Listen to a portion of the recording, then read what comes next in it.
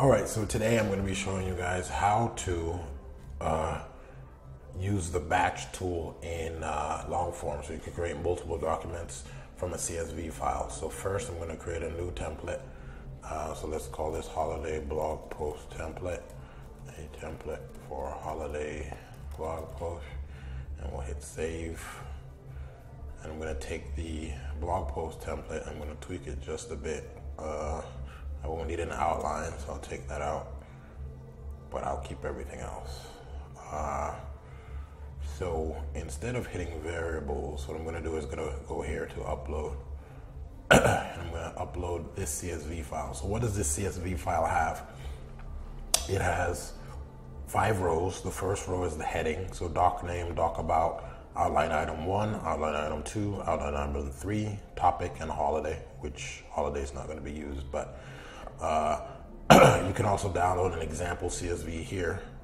So I were, if I were to open this in Google Docs, let's see here, Google Docs, you'll see that, uh, sorry, Google Sheets. Um, you'll see that it just has the heading. So let's see here, open,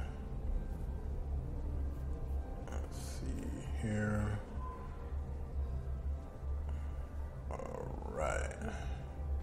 So, right, so yeah, again, we have doc name, doc about, outline item one, outline item two, outline item three, and topic. Uh, these are just the variables that are found in the template. Um, so if I added more variables, those variables would appear in this sheet. Um, but I've already gone ahead and made the document. So all I'm gonna do is download it as a CSV.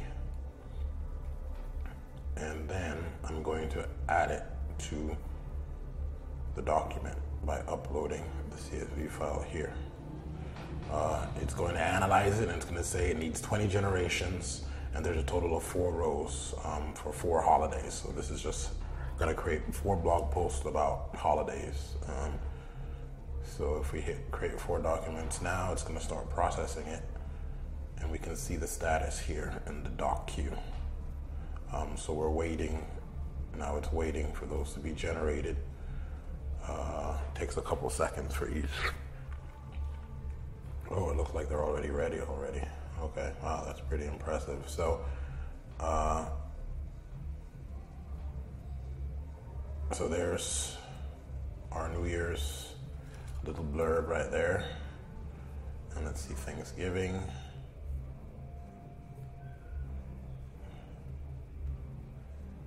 There's our Thanksgiving post. Christmas. There's our Christmas post. And hmm, I think I did Thanksgiving twice. Yeah, I did Thanksgiving twice. Okay. Um, so yeah, that's a quick demo of the the uh, batch feature on nichesss. Um, you can make these CSVs a lot longer. You can add as many uh, variables as you want. You can also make the templates longer. So my template was just really basic, uh, and I probably should space these out in the future.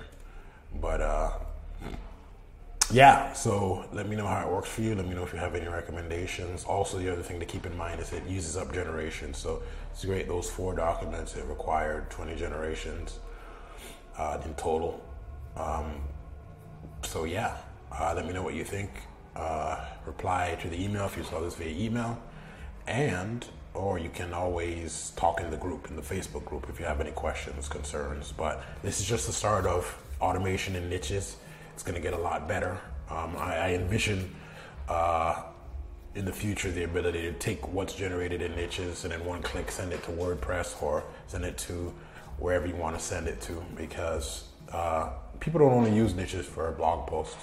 Uh, people use it to write ebooks, courses. So uh, in, in, the future, I do envision a lot more integrations. Uh, so yeah, let me know what you think. Thanks a lot. See ya.